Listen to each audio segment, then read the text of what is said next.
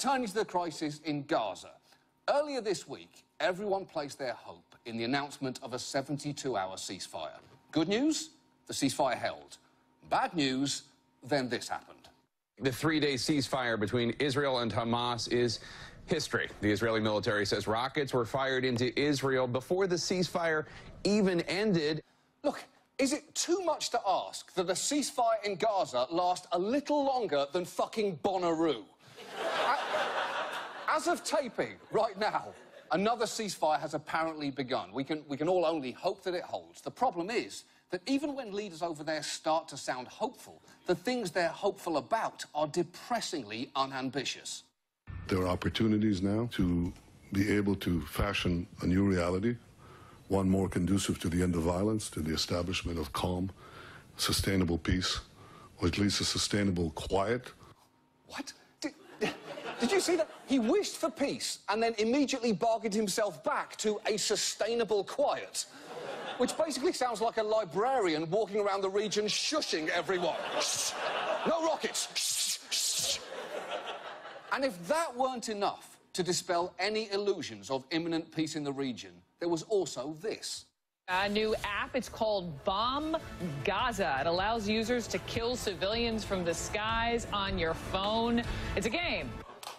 That, that's what I always thought the problem with Gaza was. No one had turned it into a game yet. It, it just wasn't fun until now. Incredibly, there are games out there representing both sides of this conflict. On Rocket Pride, you can fire rockets at Israel, and on Gaza Assault Code Red, you can pilot a drone and fire on Palestinian towns. Just, just think about that. Someone could have been playing these games on their commute to work while real rockets were being fired, going, oh shit, I missed my stop. This is the worst thing that's happened to anyone today. to be honest, war has always been popular in video games. The, the, nuances of diplomacy, however, they've never held quite the same appeal. That is until now. You fought terrorists in Call of Duty and alien hordes in Gears of War. Well, now get ready for the opposite of that. Okay, first up on the agenda, paragraph 3, subsection 4, retention of previously agreed upon language world of Peacecraft.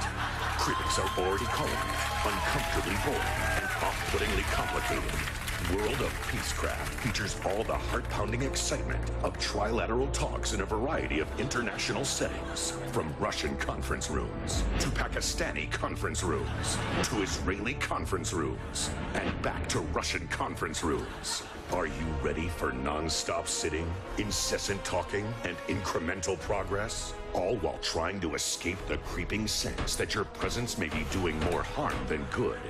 IGN says, Jesus, this is bleak. And official Xbox magazine raves, I honestly would prefer war to this.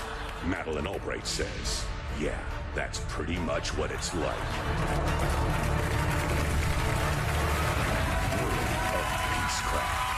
The fight for peace just got fightier.